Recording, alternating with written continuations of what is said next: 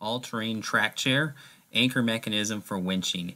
The parking brake isn't strong enough to hold it fully from sliding, so this front anchor mechanism comes down and digs into the dirt and provides a nice strong anchor for pulling something else out if something else is stuck.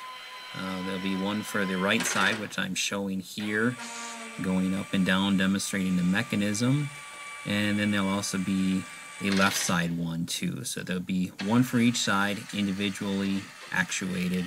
Uh, so you can get a nice strong anchor on the machine if you're going to pull uh, something else like a vehicle out of uh, mud or snow or something like that.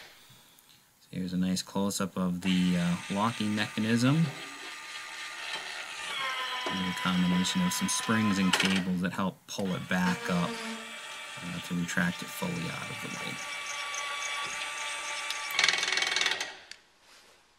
Thanks for watching. Uh, click the like button if you would. Subscribe and stay up to date. Thank you.